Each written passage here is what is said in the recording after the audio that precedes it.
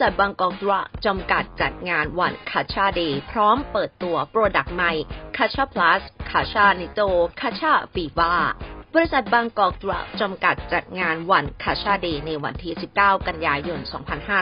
2565 ณ ห้อง Infinity โรงแรม Pullman รางน้ำ โดยเภสัชกรสุวิทย์งามผูพันธ์ประธานกรรมการบริหารบริษัทบางกอกดรักจำกัด ซึ่งเป็นการต่อยอดองค์ความรู้ด้านเภสัชกรรมไทย สารสกัดจากสมุนไพรกระชายดำ หรือ Kachaa Flavone Extract หรือว่า Black Diamond of Asia ซึ่งสารสกัดดังกล่าวนั้นมีฤทธิ์เพิ่มสมรรถภาพทางร่างกายเป็น product champion ของประเทศไทย โดยมีรางวัลการันตีคุณภาพ Prime Minister Awards และรางวัล Invention Geneva จากประเทศสวิตเซอร์แลนด์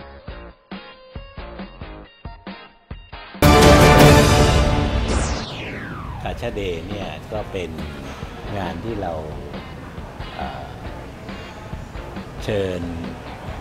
ลูกค้าที่เป็นร้านยานะครับแล้วก็ลูกค้าทั้งออนไซต์ แล้วก็ออนไลน์ทั่วประเทศนะครับ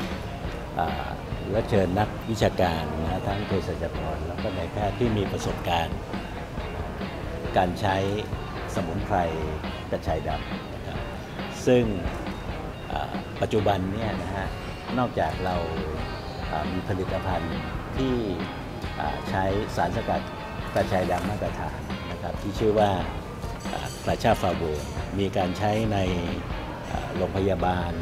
ต่างๆ ทั่วประเทศแล้วเนี่ยปัจจุบันเนี่ยเราได้มีการต่อยอดนวัตกรรมโดยใช้นาโนเทคโนโลยี เพื่อที่จะพัฒนาผลิตภัณฑ์ออกมาให้สอดคล้องกับตลาดปัจจุบันก็คือไม่ว่าจะเป็นเรื่องของอในกรณีของ ผู้ป่วยนะที่มีภาวะของลองโควิด มีอาการอ่อนเพลีย ก็เหมาะกับผลิตภัณฑ์ตัวคาชาพลัสนะครับผู้ป่วยที่มีปัญหาเรื่องเกี่ยวกับเรื่องของการอนอนนะไม่เต็มอิ่มนะแล้วก็ยังสามารถที่จะช่วยมีฤทธิ์ในงานชะลอความแก่ แล้วก็ที่สำคัญอีกตัวหนึ่งก็คือตัวคาชาวิว่าซึ่งเราได้มีการ พัฒนาต่อยอดมาเป็นผลิตภัณฑ์กระชายดำเป็นตัวแรกของเมืองไทยนะที่สำหรับผู้หญิงใช้ในแง่ของการควบคุมควบคุมน้ำหนักนะครับคาชาเดย์เนี่ยนะฮะก็จะเป็นการแสดงให้เห็นศักยภาพของกลุ่มบริษัทบางกอกแลบที่เรามีวิสัยทัศน์ที่เราจะบูรณาการภูมิปัญญาไทยสู่สากล โดยนำเอาสมุนไพรที่มีศักยภาพของประเทศไทยเนี่ยมาต่อยอดโดยนวัตกรรม เพื่อที่จะสร้างผลิตภัณฑ์ให้เป็นที่ยอมรับทั้งตลาดในประเทศ แล้วก็ในตลาดสากลต่างประเทศนะครับซึ่งอันนี้ก็นับว่าเป็นเป็นเข็มมุ่งของกลุ่มบริษัทบางกอกแลบเรา แล้วก็นับว่าเป็นจุดเด่นนะซึ่งการที่เรามีนวัตกรรมทางด้านสมุนไพรเนี่ยก็สามารถที่จะให้กลุ่มของบริษัทเราเนี่ยซึ่งเรามีแผน ฮะในปีหน้าที่เราจะแปลงกลุ่มบริษัทเราเป็นบริษัทมหาชน แล้วก็ระดมทุนในตลาดหลักทรัพย์นะครับซึ่งก็คิดว่าในปีหน้าเนี่ยกลุ่มบริษัทบางกอกแลบของเราเนี่ยจะสามารถเป็นบริษัทยาทางด้านนวัตกรรมระดับต้นๆของประเทศ ซึ่งเป็นบริษัทมหาชน แล้วก็ลิสต์อยู่ในตลาดหลักทรัพย์พร้อมที่จะก้าวเข้าสู่